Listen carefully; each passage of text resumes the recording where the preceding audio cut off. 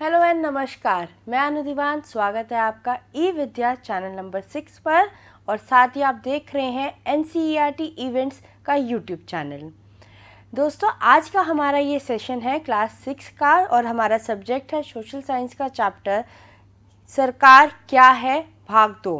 इसके पहले आप भाग में क्या पढ़ चुके हैं इसके लिए हमारे साथ हमारे एक्सपर्ट हैं हमारे साथ हमारे एक्सपर्ट स्टूडियो में मौजूद हैं mister Janmajit Sharma PGT history SKV Gokulpuri hello sir नमस्कार। सर, हमारे साथ जुड़े हुए हैं और साथ ही आप भी हमारे साथ जुड़ सकते हैं हमारे फ़ोन लाइन पर, जो कि टोल फ्री नंबर है double eight double zero double four zero double five nine और हमारा ईमेल आईडी है D T H dot class six eight C I E T dot N I C dot in आप अपने सवाल हमें यहाँ पर भेज सकते हैं या कॉल करके हमें, हमारे साथ बात कर सकते हैं और अपने सवालों का जवाब भी ले सकते हैं।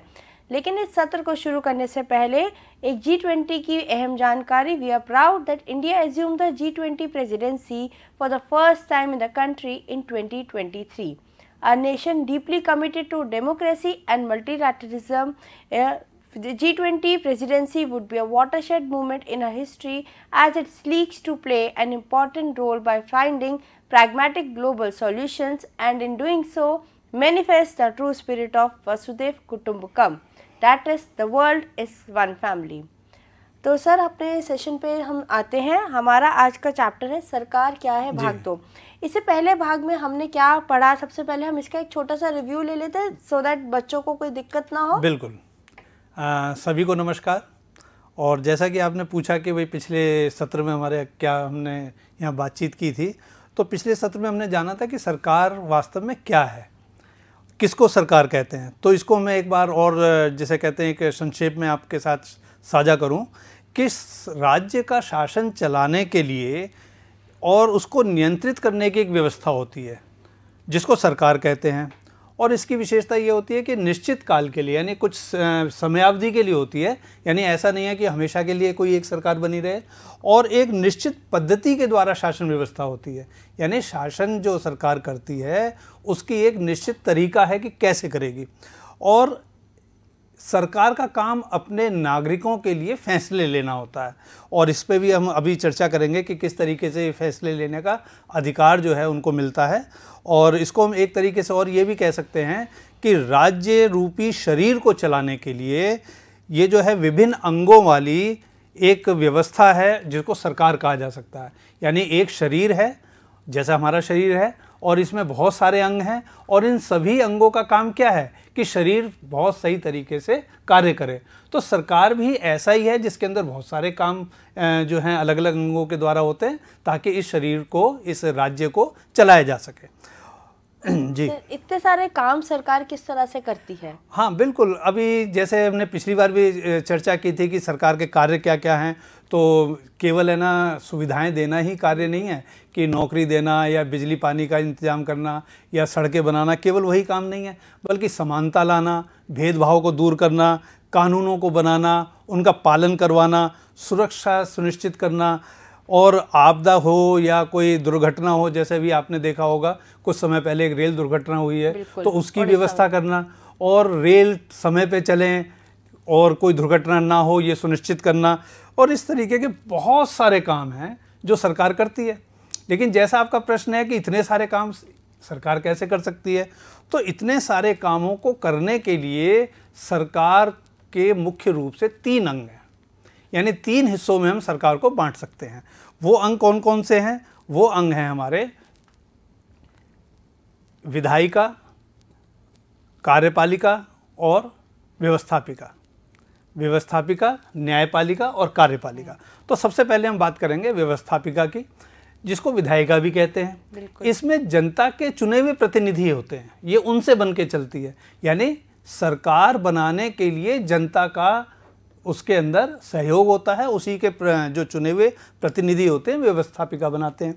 और यही व्यवस्थापिका जो होती है वो कानून बनाती है जिसके आधार पर कोई सरकार चलती है। और शासन किस आधार पर बनेगा? किस आधार पर वो किन नियमों पर वो चलेगा? तो ये नियम भी व्यवस्थापिका ही बनाती है। और व्यवस्थापिका में आप ध्यान करें कि हमारी लोकसभा हमारी राज्यसभा हमारी विधानसभाएँ सभी इसका अंग हैं। और राष्ट्रीय स्तर पर जितनी भी आय और व्यय आय और व्यय का मतलब कितनी आमदनी और कितना खर्चा यहाँ ये इसलिए जानना इंपॉर्टेंट है प्यारे बच्चों कि कोई भी काम करने के लिए खर्चा लगता है। कोई भी काम जो है बिना पैसे के होता नहीं है। तो सरकार भी जब काम करती है तो उसमें पैसा लगता है। तो पैसा कहाँ से आएगा? तो सरकार उसके लिए आमदनी भी करती है यानी कमाई भी करती है। वो कमाई ज़्यादातर जो होती है वो इनकम टैक्स या दूसरे जो कर होते हैं या जिसको कर कहते हैं या टैक्स कहते हैं, उसके द्वारा होती है। तो देश भर की जितनी जो राष्ट्रीय स्तर पे जो आय और व्यय है, यानी कमाई और खर्च, उस पर नियंत्रण भी व्यवस्थापिका का ही होता है। तो है ना ये नई जानकारी? इसके अलावा आप जितनी नीतियाँ बनती हैं, व्यवस्थाएँ बनती हैं, समस्याएँ होती हैं, या योजनाएँ बनाई जाती हैं, उस पर भी जो है, यही जो व्यवस्थापिका जो है, वो चर्चा करती है, विचार विमर्श करते हैं। और कार्यपालिका जो उसका एक अलग अंग है उस पर ये नियंत्रण भी करती है। कार्यपालिका क्या काम करती है अभी हम आपको बताएँगे। लेकिन एक इसका और इम्पोर्टेंट काम है कि यह संविधान के अंदर संशोधन भी केवल यही करती, करती है, है। यानी संविधान जिसके आधार पर सारा शासन चलता है सारे सरकार के कार्य चलते हैं सरकार की सारी नीतियाँ जिसके ऊपर आधारित होती हैं सारे कानूनों का आधार वही होता है। और उसमें संशोधन करने का अधिकार केवल और केवल व्यवस्थापिका का होता है। इसी तरीके से दूसरी जो दूसरा अंग है महत्वपूर्ण अंग है वो कार्यपालिका है। और कार्यपालिका के अंदर जितने ये कानून व्यवस्थापिका ने बनाए संसद ने बनाए विधानसभा ने बनाए तो उनको लागू कराने का जो काम होता है वो व्यवस्थापिका ने जितने भी कार्य वो कानून बनाए हैं उसको लागू करने का काम कार्यपालिका का है जिसको एग्जीक्यूटिव भी कहते हैं। अब इसमें सरल भाषा में आप ये समझ लीजिए कि संतरी से लेकर मंत्री तक, एक संतरी से लेकर एक मंत्री तक सभी इस कार्यपालिका के अंग होते हैं। यानी जितने भी देश के अंदर शासन का कार्य होता है, जितना भी कार्य होता है, व्यवहारिक रूप में इसी अंग के द्वारा होता है, क्योंकि पूरे देश में आप देखेंगे, चाहे वो शिक्षा का कार्य है, सड़क का कार्य है या जो है, उद्योग, उद्योगों का काम है, रेल चलाने का काम है, वो किसी ना किसी विभाग के द्वारा होता है। तो वहाँ पर लोग नौकरी करते हैं, वो स्थायी रूप से होते हैं। तो यहाँ ये बताना भी ज़रूरी है कि कार्यपालिका में दो प्रकार के इसको देखा जा सकता है। दो दो अंग हैं इसके अंदर भी, एक स्थायी कार्यपालिका और एक अस्थाई स्थायी कार्यपालिका वो होती है जिसके अंदर लोग नौकरी करते हैं, किसी विभाग के अंदर, जो एक समय के लिए, यानी किसी खास उसके साथ आते हैं अपनी पढ़ाई के साथ और योग्यता के साथ और उसमें वो नौकरी करते हैं। नौकरी करने के बाद, कुछ समय के बाद या जो भी उनकी जितना कार्यकाल होता है, अक्सर साठ साल या पचपन साल, और उसके बाद वो रिटायर हो जाते हैं। लेकिन जो अस्थायी कार्यपालिका है, वो राजनीतिक कार्यपालिका होती है। यानी जिन लोगों को हमने चुना है, उन्हीं में से कुछ लोग वहाँ मंत्री के रूप में स्थापित होते हैं और वो जो है उस कार्यपालिका के, उस विभाग के अध्यक्ष होते हैं। यानी चुनी हुई जो हमारे चुने हुए प्रतिनिधि हैं, वही कार्यपालिका के हेड होते हैं या उसको नियंत्रित करते हैं। तो है ना बच्चों, एक मज़ेदार बात कि जिन लोगों को हमने अपने बीच में से चुना है, वो जो विभाग हैं, जिनमें लोग नौकरी करते हैं, उनको वो कंट्रोल करते हैं। तो इस तरीके से दोनों एक दूसरे को कंट्रोल करते हैं। और यहाँ इंपॉर्टेंट बात एक और ये है कि ये जितने भी कार्य होते हैं कार्यपालिका के द्वारा, इसके अंदर जितने भी हमारे लोक कल्याण के आदर्श हैं, उनको प्राप्त करने के काम किए जाते हैं। और सभी प्रशासनिक कार्य कर्मचारी और अधिकारी इसके सदस्य होते हैं। तो ये तो हुई कार्यपालिका। इसके बाद आता है तीसरा अंग जो है वो न्यायपालिका। जो हम साधारण रूप से सोचते हैं कि न्याय करती है लेकिन न्याय करने से अधिक इसका और भी बड़ा काम है कि संविधान की व्याख्या करने का सबसे बड़ा काम इसी का है। देखो प्यारे बच्चों संविधान जो लिखा गया था 1950 में जो लिखा गया था और उसकी व्याख्या करना यानी जो हमारे संविधान सभा ने जो लिख दिया उसकी व्याख्या यानी उसको कैसे उसको समझा जाए इसको समझने का काम उसको समझाने का काम न्यायपालिका का है। और लेकिन यहाँ पर एक इंपॉर्टेंट बात ये भी है कि जो हम सोचते हैं कि भाई पुलिस जो है न्याय करती है या पुलिस जो है दंड देती है तो प्यारे बच्चों, ये काम न्यायपालिका का है कि कानून तोड़ने वाले को दंड देने का कार्य केवल और केवल न्यायपालिका का है। अधिकारियों के अधिकार या राज्यों के अधिकार या शासन के अधिकार ये निश्चित करते हैं और उनके ऊपर ये निर्णय भी देते हैं। और इसी तरीके से आप देखते हैं कि ये किसी भी अंग को या किसी भी दूसरे विभाग को निरंकुश होने से बचाता है। और ये अधिकारों और स्वतंत्रता की रक्षा के कवच का काम भी करता है। और इसको एक तरीके से कहें, ये हमारी आज़ादी का संरक्षक भी है। और किसी भी पक्ष के विवाद हैं, चाहे वो लोगों के बीच में विवाद हैं, चाहे वो सरकारों के बीच में विवाद हैं, चाहे विभिन्न सरकार जो हैं, राज्य सरकारें हैं, उनके बीच में कोई भी विवाद है तो किसी भी पक्ष में विवाद होने की स्थिति में उसके निपटान का जो अंतिम स्थान है, वो केवल न्यायपालिका है। तो इस तरीके से हम देखते हैं कि तीन अंग हैं और तीनों अंगों का क्या काम है कि एक दूसरे को चेक बैलेंस करते हैं, एक दूसरे पर नियंत्रण भी रखते हैं और एक दूसरे को सहयोग भी करते हैं। तो जैसा हमने पहले चर्चा की थी कि सरकार के विभिन्न कार्य क्या क्या हैं तो आपने देखा कार्य तो बहुत सारे हैं। तो अगर सारे काम सभी को करने पड़ जाएँ तो ज़ाहिर सी बात है, जैसे हमारे घर में भी सारे काम सभी नहीं करते, आपके स्कूल में भी सारे विषय सभी अध्यापक नहीं पढ़ाते। तो इसी तरीके से सरकार में भी विभिन्न अंगों के द्वारा इन सभी कामों का बंटवारा किया हुआ है। और यहाँ पर यह बताना बहुत ज़रूरी है कि कोई भी अंग सर्वोच्च नहीं है, सभी अंग एक दूसरे के बराबर है, लेकिन एक दूसरे पर नियंत्रण भी करते हैं। कैसे? कानून बनाने का काम किसका है? प्यारे बच्चों, आपको याद होगा, अभी हमने बात की थी विधायिका या व्यवस्थापिका का। उस कौन है उसके अंदर? उसमें वो लोग हैं जो लोग चुने गए हैं जिनको जनता ने चुना है। और उसको लागू कौन करवा रहा है? लागू करवाने का काम जो है संसद का काम नहीं है बल्कि कार्यपालिका का काम है। और जो जितने विभाग हैं जितने भी हमारे डिपार्टमेंट हैं उनके लोग उन कानूनों को उन नीतियों को लागू करवाते हैं। लेकिन अगर कोई कानून गलत है तो गलत और सही का फैसला कौन करेगा? क्या संसद करेगी? क्या कार्यपालिका करेगी? नहीं। यह कार्य केवल और केवल न्यायपालिका का है। कि यदि कोई कानून सही है या गलत है इसका फैसला न्यायपालिका करेगी। लेकिन क्या न्यायपालिका अपनी मर्ज़ी से करेगी? बिल्कुल नहीं। उसका आधार क्या है? उसका आधार संविधान है। संविधान। तो आप देखेंगे कि संविधान के आधार पर ये तीनों जो अंग हैं वो काम करते हैं और तीनों अंगों की शक्तियाँ तीनों अंगों की सीमाएँ जो है सुनिश्चित होती हैं ताकि वो एक दूसरे को सहयोग करके आगे बढ़ सकें। जी। बिल्कुल सर क्या इन सब कार्यों के लिए एक ही सरकार पर्याप्त है? हाँ ये बहुत अच्छा प्रश्न आपने किया कि अगर जैसे भी हमने तीन अंगों की बात करी लेकिन अभी हम देखते हैं कि भाई शिक्षा की ही बात करें तो प्राइमरी शिक्षा भी है जिसमें पहली क्लास से पाँचवीं क्लास तक की बात हो रही है। और अगर हम कहें कि पानी की बात है पानी पी, पीने पीने के पानी की बात करें तो मोहल्ले में पानी आ रहा है नहीं आ रहा इसकी बात हो रही है। लेकिन यदि एक बाँध बनाना है बेशक वो पीने के पानी के लिए हो रहा है तो उसकी फैसला कौन करेगा और उसकी व्यवस्था कौन करेगा? तो इन सबको देखते हुए हमारे देश के अंदर तीन स्तरों की सरकार है। तीन स्तरों की सरकार में सबसे पहला स्तर प्राथमिक स्तर जिसको सबसे प्राइमरी स्तर कहते हैं सबसे छोटा स्तर कहते हैं लेकिन सबसे महत्वपूर्ण क्योंकि ये सीधा लोगों से जुड़ा हुआ है और इसको स्थानीय सरकार कहा जाता है। स्थानीय सरकार, जैसे आपके दिल्ली में एमसीडी है नगर पालिकाएँ होती हैं, नगर निगम होते हैं, टाउन एरिया कमेटी होती है, उसके अंदर भी लोग चुने हुए होते हैं, जिनके अंदर पार्षद होते हैं। लेकिन उनका क्षेत्र क्या होता है? उनका क्षेत्र मात्र जो है, वो अपने स्थानीय स्तर के विकास के लिए काम करते हैं। जैसे दिल्ली में गलियों का निर्माण कौन करवाएगा? दिल्ली नगर निगम। नालियाँ कौन साफ़ करवाएगा? कूड़ा कौन उठवाएगा? दिल्ली नगर निगम। तो इस स्तर का, यानी कि लोकल स्तर का जो कार्य होगा, वो स्थानीय सरकार करती है। लेकिन कुछ विषय ऐसे होते हैं जो गली मोहल्ले से बढ़कर होते हैं।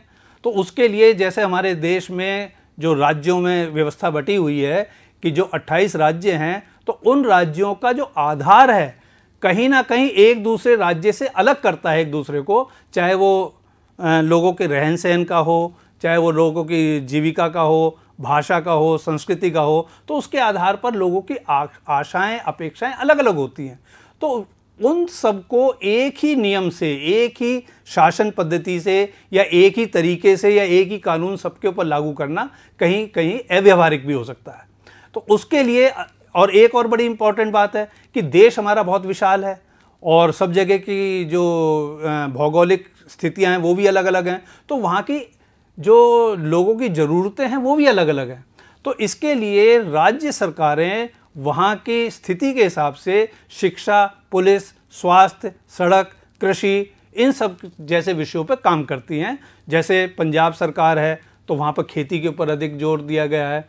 अब जैसे पंजाब सरकार, ज़ाहिर सी बात है कि वो मछली पकड़ने के लिए, समुद्र में मछली पकड़ने के लिए तो काम नहीं करेगी, लेकिन केंद्र वो केरल सरकार और तमिलनाडु सरकार ज़ाहिर सी बात है कि वो अपने मछुआरों के लिए काम करेगी। तो इस तरीके से ये राज्य सरकार अपने राज्यों के लिए काम करते हैं और राज्य के अंदर जो लोग होते हैं, उनके बेहतरी के लिए, उनके विकास के लिए काम करते हैं। लेकिन कुछ कार्य ऐसे होते हैं जो पूरे देश के लिए ज़रूरी होते हैं। जैसे मुद्रा, यानी नोटबंदी अभी हाल में ही हुई है कि ये फैसला किसने लिया? क्या एमसीडी ने लिया? क्या दिल्ली सरकार ने लिया या यूपी सरकार ने लिया? नहीं, प्यारे बच्चों, मुद्रा यानी पैसा करेंसी नोट चलाने का जो अधिकार है, वो केंद्र सरकार का है। वो पूरे देश में समान रूप से सभी पर लागू होता है। तो चाहे वो बैंकिंग है, यानी बैंकिंग व्यवस्था है, चाहे रेल की व्यवस्था है, चाहे जो है पड़ोसी देशों से हमारे संबंध कैसे होने, चाहे सेना है। अब ध्यान रखना, सेना केंद्र सरकार के अधीन होगी, जबकि पुलिस राज्य सरकार के अधीन होगी, क्योंकि राज्य पुलिस जो है राज्य की सीमाओं के अंदर शांति व्यवस्था और समाज के अंदर शांति व्यवस्था बनाए रखने का प्रयास करती है, जबकि सेना देश की सीमाओं के साथ जो है उसकी ज़िम्मेदारी लेती है और देश की सीमाएँ ज़ाहिर सी बात है, पूरे देश की है, किसी राज्य की नहीं है। इस तरीके से हम देखते हैं कि अलग अलग कामों के स्तर के हिसाब से राज्यों का, ओ, सॉरी सरकार के जो है, स्तर तीन अलग अलग बटे हुए हैं। सर एक सवाल आखिरी सवाल क्योंकि हमारे पास समय बहुत कम है। क्या एक ही प्रकार की सरकार होती है या अलग अलग हाँ ये बहुत अच्छा सवाल है क्योंकि देखने में लगता है कि भाई एक ही प्रकार की सरकार हो सकती है। लेकिन सरकारें बहुत प्रकार की हो सकती हैं। जैसे यदि लोकतंत्र के द्वारा सरकार हो रही है यानी कि वहाँ पर लोग चुने हुए आ रहे हैं तो उसे लोकतांत्रिक सरकार कहा जा सकता है। सरकार कई प्रकार की हो सकती है। अगर कोई राजा उसका मुखिया है तो राजतंत्र होगा। जैसे आपने देखा होगा कि इंग्लैंड के अंदर एक रानी है रा, रानी थी और अब एक राजा है तो वो उसके मुखिया हैं।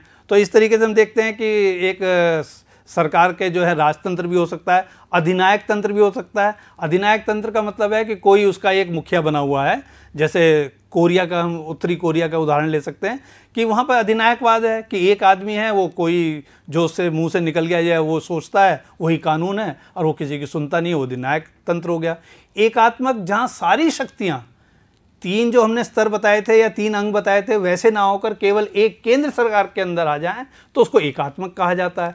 संघात्मक, जिसमें अलग अलग संघ हैं, जैसे भारत अलग, अनेक राज्यों का संघ है, और सभी राज्य आपस में अपनी अपनी शक्तियों के साथ एक दूसरे के साथ, बराबरी के साथ होते हैं तो भारत संघात्मक भी है। संसदीय है, क्योंकि यहाँ लोग अपनी संसद के लिए चुनते हैं। तो इस प्रकार से सरकार के प्रकार तो कई हैं लेकिन मुख्य रूप से इनको हम दो हिस्सों में बांटे, बांट सकते हैं। मुख्य भेद है, लोकतांत्रिक सरकार है या गैर लोकतांत्रिक सरकार है। तो इसको हम इस तरीके से देख सकते हैं। बिल्कुल। तो ये इस आज के सत्र में हमने जिस तरह से पढ़ा कि सरकार क्या होती है, सरकार के कार्य क्या क्या है और किस किस स्तर पर सरकार होती है। सर ने बहुत ही डिटेल में बताया। हम सभी अपने जो बच्चे हैं उनसे यही कहेंगे कि इसका एक रिव्यू ज़रूर कीजिएगा, इसका एक रिवीजन ज़रूर कीजिएगा, क्योंकि एक ऐसा टॉपिक है जो आपको लंबे समय तक काम आएगा और सरकार, यानी कि डेमोक्रेटिक इंडिया को समझने के लिए काफ़ी आपके लिए लाभदायक होगा। तो सरकार सरकार के स्तर और सरकार के कार्यों के बारे में जब आपको पता होगा तो आप इस डेमोक्रेसी का इस लोकतंत्र का हिस्सा बनने में आपको कोई दिक्कत नहीं आएगी। बिल्कुल सर? बिल्कुल। और प्यारे बच्चों में एक बात और कहना चाहूँगा यहाँ पे कि सरकार का असली काम है निर्णय लेना बिल्कुल। यानी फैसले लेना। और ध्यान रखें जो हमने पिछली बार भी बात की थी कि फैसले लेना एक बहुत बड़ा अधिकार होता है। तो कोई क्या सहज ही किसी को अपना अधिकार दे देता है? तो ये प्रक्रिया है कि किस तरीके से हम अपने प्रतिनिधियों को चुनते हैं और वो निर्णय कौन से लेते हैं? वो वो निर्णय लेते हैं जिनसे बहुत से लोगों का जीवन जुड़ा हुआ होता है। फैसला लेने का अधिकार बहुत बड़ा अधिकार होता है और इसी अधिकार को लेने के लिए सरकार बनती है। बिल्कुल। और ये फैसले लोगों की ज़िंदगी को प्रभावित करते हैं। तो प्यारे बच्चों ध्यान रखो ध्यान रहे कि ये चीज़ें केवल हमारी किताबों में नहीं बल्कि हमारी कक्षा के अंदर हमारे घरों के अंदर किस तरीके से फैसले लिए जाएँ किस तरीके से लोकतांत्रिक व्यवस्था हो इन चीज़ों पर भी हम ध्यान दें और इस चीज़ को समझें। बिल्कुल ये हमारी आम जीवन से जुड़ा हुआ है और ये ऐसा नहीं है कि आपने चैप्टर पढ़ा और ख़त्म ये आपको आगे के लिए यानी कि जब आप अठारह बरस के हो जाएँगे तब भी काम आता है क्योंकि तब आप लोकतंत्र का एक अहम हिस्सा माना जाता है। बिल्कुल। तो सर आज के सत्र के लिए आपका बहुत बहुत धन्यवाद। धन्यवाद। लेकिन बच्चों आप कहीं मत जाइएगा। आपके लिए हम फिर से हाजिर होंगे वेबिनार में। लेकिन उससे पहले आपको एक जानकारी एन टेक्स्ट बुक जो है हमारी 2023-24 की सभी एन सेल्स काउंटर पर उपलब्ध है। आप इन्हें खरीद सकते हैं दिल्ली, गुवाहाटी, अहमदाबाद, कोलकाता, बेंगलुरु से, जो कि सभी दिनों में उपलब्ध है। सुबह साढ़े नौ बजे से शाम छः बजे तक। ये एक सेल्स काउंटर हमारे शनिवार और रविवार के साथ साथ सरकारी छुट्टी वाले दिनों में भी खुले रहेंगे। आप इन N C R T text books को ऑनलाइन ऑर्डर भी दे सकते हैं। N C E R T books dot N C E R T dot G O V dot in पर जाकर आपकी ये बुक्स आपके घर पर उपलब्ध होंगी बिना किसी डिलीवरी फ़ीस के। साथ ही आप इसकी एक सॉफ्ट कॉपी भी डाउनलोड कर सकते हैं पीडीएफ फॉर्मेट में, जो कि हमारी N C E R T website पर उपलब्ध है। आप इसको डाउनलोड कर सकते हैं। ई पाठशाला दीक्षा या N C R T website से एन टेक्स्ट बुक के बारे में और जानकारी और साथ ही ऑथराइज डीलर्स के बारे में और जानकारी के लिए आप हमारी एन वेबसाइट ज़रूर विज़िट करें। धन्यवाद।